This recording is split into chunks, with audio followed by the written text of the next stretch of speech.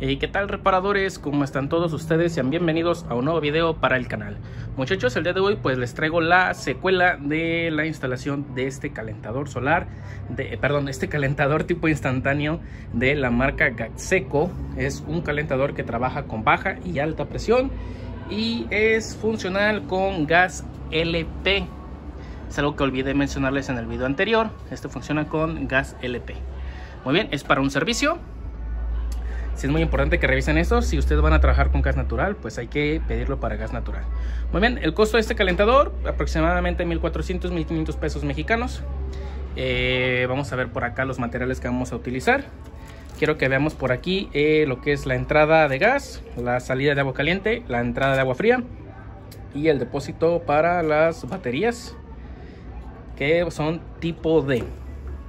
Muy bien, las entradas de esta parte de aquí es de media pulgada. Aunque sea de media pulgada, eh, por ejemplo nosotros ahorita lo vamos a instalar con manguera. Pero esta manguera, ojo, no puede ser como la manguera de tarja ni la manguera de lavabo. Debe de ser una manguera especial para boiler. Son más gruesas, resisten la temperatura. ¿sí? Esta en particular viene con una entrada de media pulgada y una entrada de tres cuartos. Porque la de media va a estar de este lado y la de tres cuartos pues va para allá. Muy bien. Adicional a esto pues vamos a necesitar para nuestra conexión de gas. Para la conexión de nuestro gas que es en esta salida es de media pulgada pero viene en rosca NPT eh, y las mangueras de gas por lo general eh, son rosca flare entonces vamos a utilizar esta conexión. Se conoce como conector campana. Este es de la marca Fawcett se alcanza a ver el código. Viene a media pulgada hembra y sale a 3 octavos flare que ya sería para la conexión de gas. Muy bien eh, vamos a utilizar esto. Como les mencioné un par de baterías tipo D. Vamos a utilizar dos mangueras. Estas son de 60 centímetros. Las hay creo que hasta un metro las mangueras tienen un costo aproximado de 100 pesos mexicanos. Eh, un flexómetro, un limpiador de terminales. En este caso vamos a ocupar estaño porque es tubería de cobre. Unas conexiones de CPC porque vamos a bajar un poco el tubo. Par de pericos, shellac y teflón. Un cortatubo porque como les menciono esto es de cobre. Las baterías tienen un costo aproximado de 50 pesos el par mexicano, dependiendo también pues la, la marca. Muy bien, y pues unos taquetitos. Vamos a ocupar un soplete en ese caso para soldar y pues un taladro para fijarlo. Estos calentadores tienen la particularidad de que son sumamente ligeros. No pesan más que unos 3-4 kilos. Entonces un par de taquetes eh, ya se pueden sujetar. Esos los taquetitos los vamos a colocar en esta parte de aquí. Muy bien. Bueno, pues lo primero que vamos a hacer para la instalación es cerrar nuestra llave de paso principal o nuestra llave de tinaco y posteriormente hay que vaciar este calentador. Este calentador está lleno de agua, entonces es sumamente pesado, así que vamos primero a vaciarlo y continuamos.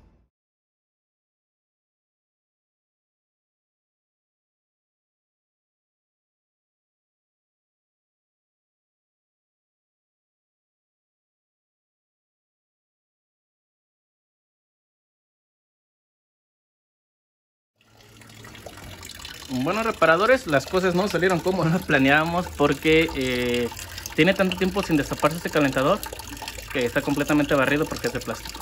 Entonces tuvimos que hacerle ahí un hoyito con el taladro, así que ya se va, a vaciar. Vamos a esperar a que se vacíe. Si por alguna razón dejara de salir agua, a veces se debe a que tiene aire.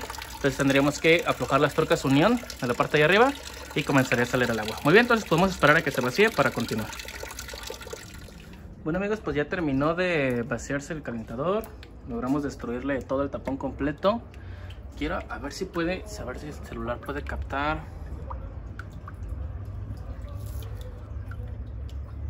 ¿Se alcanzan a ver esas escamas allí? Bueno, pues todo eso es lo que se le va acumulando al calentador. Cuando son de depósito no se le da servicio. Entonces es muy importante que le hagan sus mantenimientos o lo que coloquialmente conocemos como purga. Muy bien, bueno, pues lo que sigue va a ser desmantelar el calentador. Eh, vamos a quitar las tuercas unión, lo vamos a bajar y vamos a hacer el fijado del nuevo calentador. Este nuevo calentador, como les mencioné, con dos taquetitos de un cuarto de plástico es más que suficiente para fijarlo. No carga mucho peso, así que no hay tanto problema. Hay que ponerlo a una altura donde podamos manipular las perillas y donde podamos cambiar las baterías. Muy bien, pues lo vamos a hacer en cámara, en cámara rápida y vamos a darle.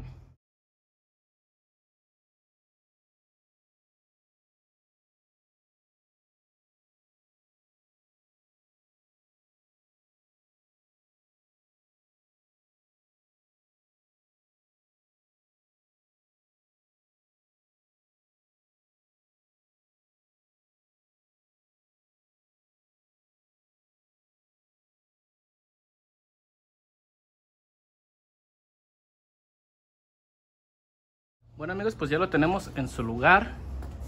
La verdad que comparación del otro se, se mira de juguete, ¿no? Eh, lo que sigue, pues bueno, vamos a hacer las conexiones de la manguera. Eh, como pueden ver, este calentador tiene las salidas por abajo, el otro los tenía eh, por arriba. Entonces, pues vamos a tener que modificar un poco la tubería. Recuerden que el lado derecho siempre es fría, el lado izquierdo es caliente. Entonces esa tubería la vamos a sacar hacia un lado para posteriormente bajarla. Y esa únicamente vamos a recorrer un poco el codo. Déjeme que enfoque, listo. Vamos a recorrer un poco el codo para bajarla. Muy bien, hasta donde las mangueras. Estas mangueras, al contener un empaque, no requieren teflón. Entonces vamos a colocarlas sin teflón y pues bueno, eso lo vamos a hacer con el bole desmontado, así que vamos a darle. Bueno amigos, pues vamos a hacer la colocación de las mangueras. Como les mencioné, aquí tenemos este, estas mangueritas, son de 60 centímetros, que trae media por 3 cuartos. Son de la marca Fawcett, este, son de acero inoxidable. Yo he trabajado con ellas y salen buenas. Como les mencioné, pues estas traen un empaque, por lo tanto no requieren eh, teflón. Así que vamos a ponerlas directas. Muy bien. Vamos pues primero con la primera, eh, que es de el lado frío. El apriete hay que recordar que no es mucho, no es en exceso porque se puede llegar a tronar. Entonces en cuanto lleguemos con la mano le vamos a dar un poquito más. Yo tengo por aquí especial para estas instalaciones una periquita que es de la marca Trooper. Es pequeña, de 6 pulgadas y esta me permite abarcar hasta una pulgada de ancho. Entonces pues para esto está perfecto porque no me estorba porque está muy grande. ¿No bien? Entonces, no es mucho. En cuanto sentamos que ya dio, hasta ahí. Como yo lo corroboro, pues voy a tratar de girar esta parte de aquí abajo. Si esta parte de abajo tiene movimiento, entonces para mí tiene, todavía le falta un poquitito más. Esa al estar presionada contra la otra pieza, ya no se puede mover. Entonces ahí sí ya estaría. ¿Muy bien? Ahora, antes de colocar la de la caliente, me voy a pasar primero con la del gas, porque la del gas, como trae salida en NPT, primero tenemos que hacerle la conversión a flare. Aquí, eh, las, rocas, las roscas tipo flare también sellan entre sí y no requieren teflón, pero las roscas NPT sí. Entonces, a esta conexión, sí le vamos a poner teflón. E inclusive yo, por experiencia, habrá quienes estén en, su, en contra, este, yo le pongo teflón y aparte le coloco shellac. Para aquellos que no conocen el shellac, pues no es más que un sellador de rosca, pero en tipo líquido o pasta, por llamarlo de alguna forma, que me va a ayudar a reforzar este, el sellado en esta parte de aquí. Pues recordemos que es gas. Y yo, pues la verdad, prefiero, prefiero no correr riesgos. Sé que va a haber por aquí algunos comentarios que van a decir que no es necesario, que con el teflón bien puesto es suficiente, pero la verdad es que a mí me gusta hacerlo. No siento que esté de más, no le hace daño, entonces pues, pues ¿por qué no? Este es el shellac, se alcanza a ver bien. Y este pues no es más que un, sellador eh, líquido, por así decirlo, es un poco espeso. Vamos a colocar un poquito, no en, no en exceso.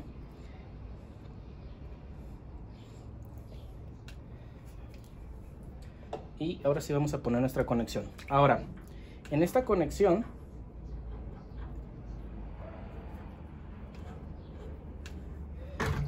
eh, la parte que es del boiler es de fierro vaciado es un fierro que es muy fácil que se rompa entonces aquí sí vamos a requerir hacer contrapalanca es decir sujetar esa pieza con una de nuestras pericas o llaves o lo que tengan con lo que estén apretando y con la otra empezar a hacer presión para evitar que se nos rompa.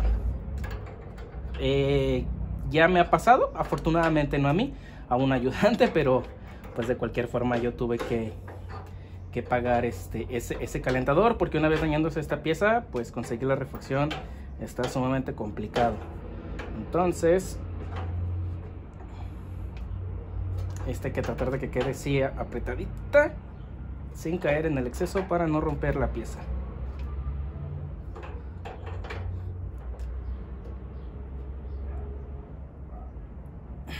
Listo. Muy bien. A ver si se alcanza a observar ahí cómo sale un poquito de shellac. Eso va a secar y va a terminar de hacer su sellado. Ahora, aquí ya quedaría nuestra rosca flare. Que para tener un cónico, pues no, no es necesario allí el teflón. ese ya pues será directo a la manguera de gas. Ahora vamos a colocar nuestra otra manguera. Que va a ser la de el agua caliente.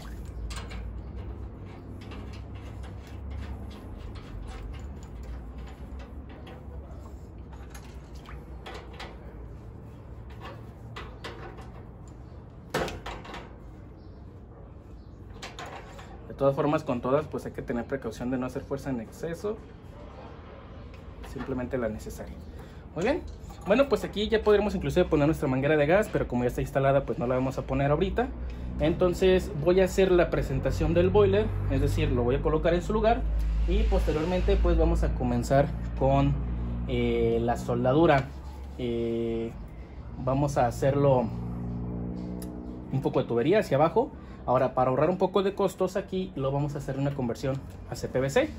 Este, así que vamos a hacer primero las conexiones de cobre para lo que nos pide el boiler y posteriormente pues vamos a hacer el cambio a CPVC. Muy bien, entonces pues vamos a darle.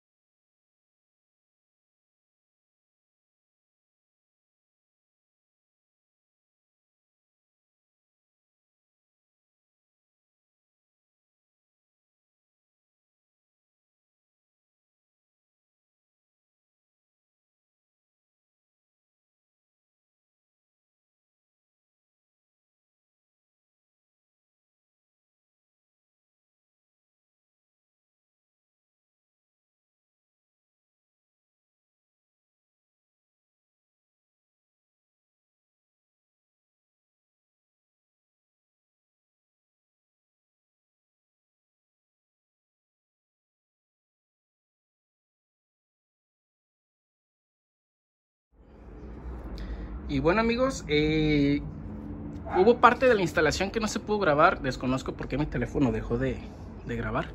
Eh, pero prácticamente fueron parte donde estoy soldando todo esto. Eh, la verdad es que se me complicó un poquito porque tuve que reciclar un poquito el cobre.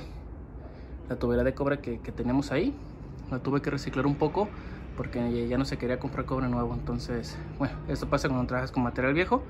Este, aquí está la conversión a, a CPVC. Esta pues todavía está un poquillo fresco un poquitín ligeramente chueco. Quise poner una abrazadera para que quede derechito. Pero pues bueno, sería un poquito de detallito estético. De este lado tenemos la caliente. Acá sí salimos este, completos, derechitos. Ahí tenemos la conversión. Tenemos aquí entrada y salida de agua y la manguerita hacia el gas. En esta parte de acá vamos a colocar nuestras dos baterías. Ahorita no lo voy a hacer porque no quiero que el boiler se me vaya a encender porque todavía tengo mi pegamento fresco. Entonces me voy a esperar una hora y vamos a probar. Pero pues básicamente esta es la instalación de un calentador este tipo instantáneo o de paso. Este como les mencioné, lo que es la perilla azul va a controlar qué tanta agua entra al calentador. Si fuera muy alta la presión y no se calienta lo suficiente, pues haría yo que pase un poco más lento para que se caliente más. Ahora al contrario, si está al mínimo este, y está suficientemente caliente, pues a lo mejor abro más para que este, tenga mayor eh, paso de agua y por lo tanto no se caliente tanto. Y de este lado de acá es el control de la flama. Este tipo de calentador no tiene botón para apagar y prender. Si quisiéramos apagar y prenderlo, habría que destapar la tapita de las pilas para que este no encienda. Muy bien amigos, bueno pues básicamente esa es la instalación de un calentador tipo instantáneo. Si tienen alguna duda no olviden dejármela en los comentarios. Si el video te gustó dale un like. Eh, si no te gustó dale dislike, no te preocupes por eso, a todos nos puede pasar. Muchas gracias por estar con nosotros y hasta la próxima.